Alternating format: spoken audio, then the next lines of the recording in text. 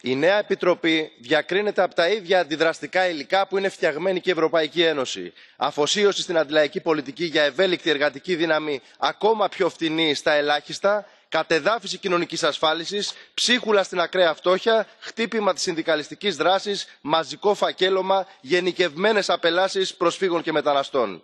σε περίοδο ανεμικής ανάκαμψης και με σημάδια στον ορίζοντα μιας νέας πιθανής συγχρονισμένης κρίσης προωθούνται τα πράσινα ταμεία και αδρές επιδοτήσεις για τα ψηφιακά μεγάλα πεδία κερδοφορίας των ομίλων. Και αυτά εν μέσω εμπορικών πολέμων αντιθέσεων και στο εσωτερικό της ευρωπαϊκής ένωσης για τη στάση απέναντι σε ηπα κίνα και ρωσία την έκβαση του brexit την ένταση της στρατιωτικοποίησης.